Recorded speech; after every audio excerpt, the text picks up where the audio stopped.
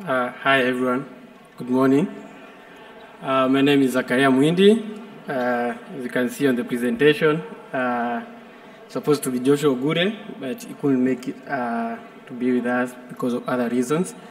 So I'm just stepping in uh, for him. We work together at MapKibera. So in this presentation, I'll be sharing about the work that we've been doing with the county government, introducing them to open source tools uh, such as OpenStreetMap and also Kobo Collect for data collection.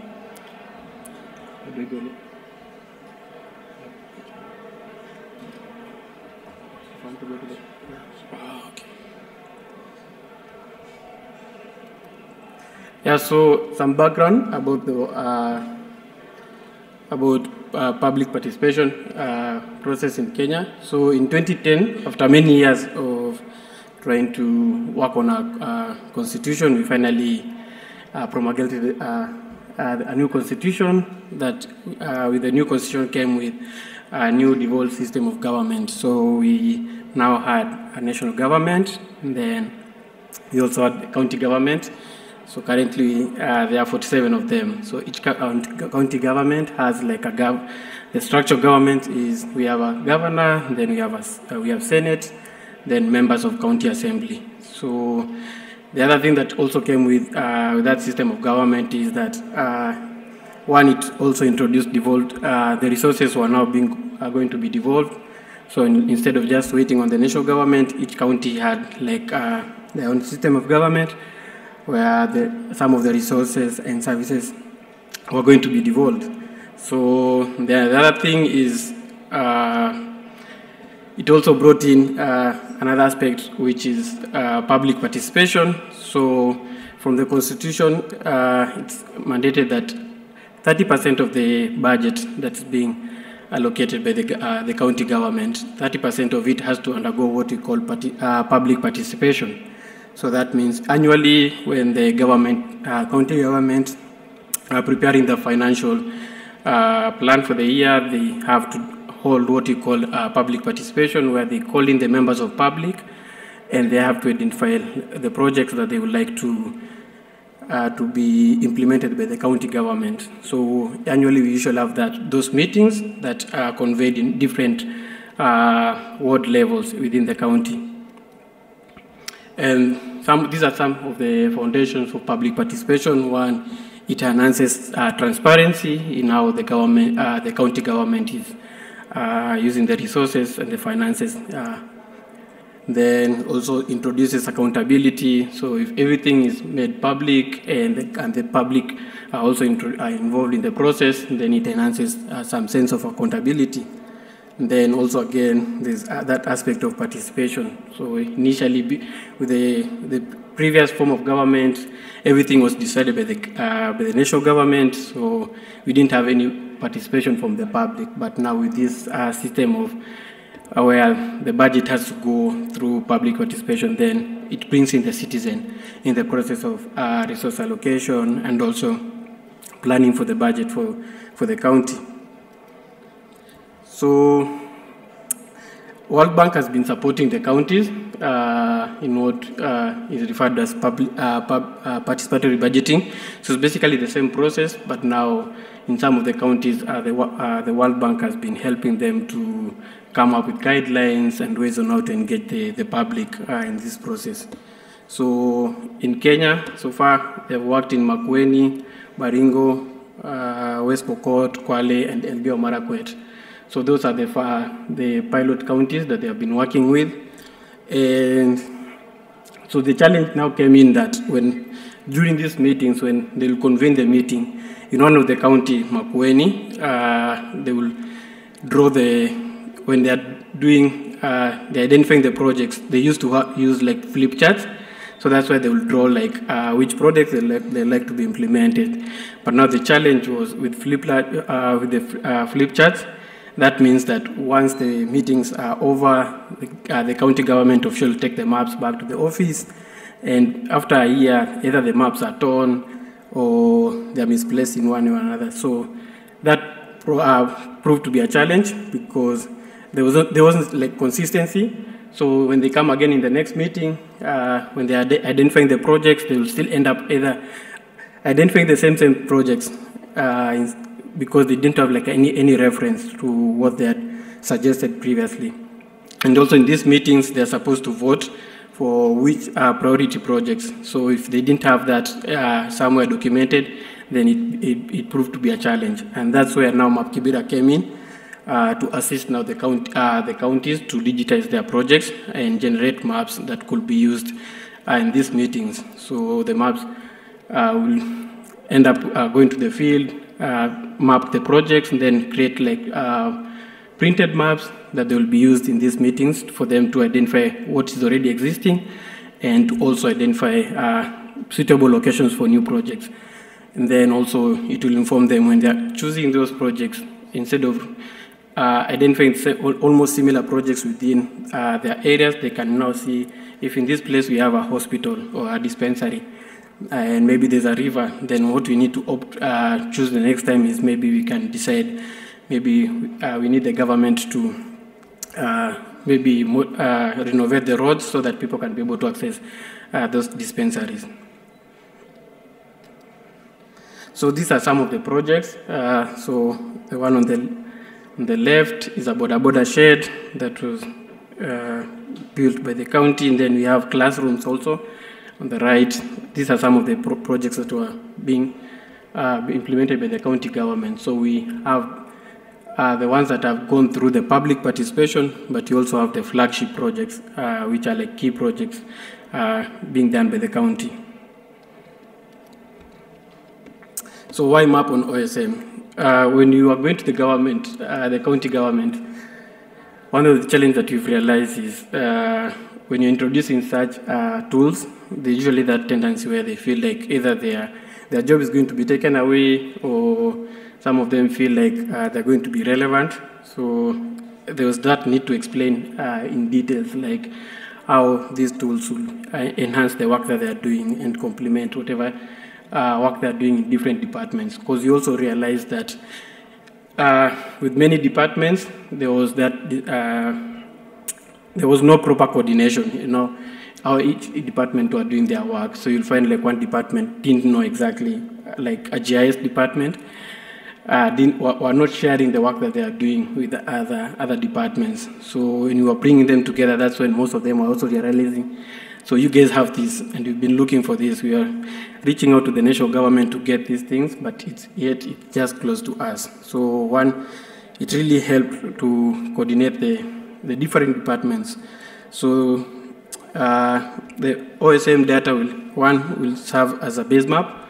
So those who are working on maps, they can easily just uh, use the map as, uh, as a base map. Then they integrate the different data uh, that they have into the map and to create like uh, better maps for that could serve the county. And then also visualization.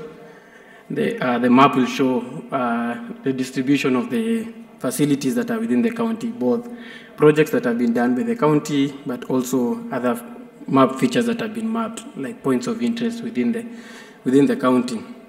Then it will also help in planning uh, for finance and budgeting, uh, it will help the citizens to track uh, projects that have been allocated and to also for them to, uh, to see in the next, uh, when they're planning for the next uh, projects, to get to know how to plan better on where to, to set up new projects.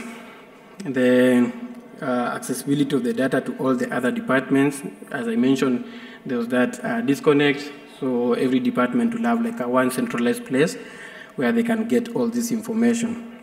And then for the monitoring and evaluation department, they can also use this map to monitor and evaluate the project's pro progress uh, as it's going on. Then, of course, this is to sell the idea to the, the county on why they need the map, but also we also are trying to emphasize on the need of engaging also the citizen. So why engage the citizens? Citizens make projects using a participatory budgeting processes, and they can make informed, if, uh, informed decision if they take part. So what you realize is uh, in those meetings also, uh, most of the people that will attend those meetings are more the elderly, and there was no room for the, for the youth. Uh, in most of those communities also, they don't acknowledge, uh, you're not allowed to sit in those meetings if you're a young person. And also another thing that we realize, uh, women also don't have a place in those meetings, but with time, uh, we are seeing more counties uh, allowing women to come in and to give their opinion. But the setup is a bit different, so the women will be set, uh, be separated uh, to sit on one side and the other men to sit on the other side. So uh, there was that need to engage the citizen and everyone to air their, their issues and propose what uh, thought they will be uh, best fit for them.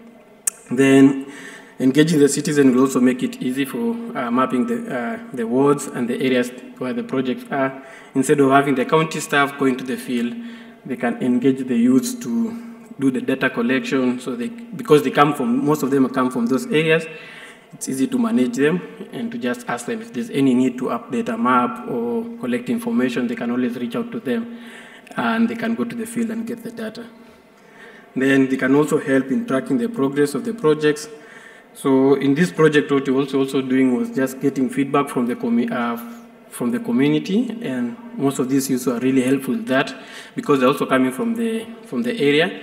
They were also helping to give uh, the, the assessment. So they will say whether they feel like the project is in good shape. Uh, they will also identify like whether the, the amount of money that was allocated for that project has really been uh, used to, how, how it's, supposed to, to be used. Then we're also taking photos, so it can also help in showing the status of the project. Then also the youth will be, uh, will help to bridge the gap uh, between the administration and other citizens because they are the more uh, energetic ones, so they can be able to run around if there are any information that is coming from the county that uh, either their parents can't able to access it, maybe using platforms such as WhatsApp and other social media, they can help to bridge that gap between the administration and the, the other citizens. So, so once we had engaged the county and explained why, why they need to use this platform uh, to, to complement the work that they are doing. We started the process of uh, data collection. So on the left, you can see some of the youths crossing the river to access some the points of interest. As I mentioned, you see this like another challenge. So one project is on one side uh, of the river and the other one is on this side. So in such places, it's even better to have someone uh, instead of building a lot of water points and health facilities, one of the key things that they can do in these such areas is just to build a bridge, which will uh, help people to access one area to the other.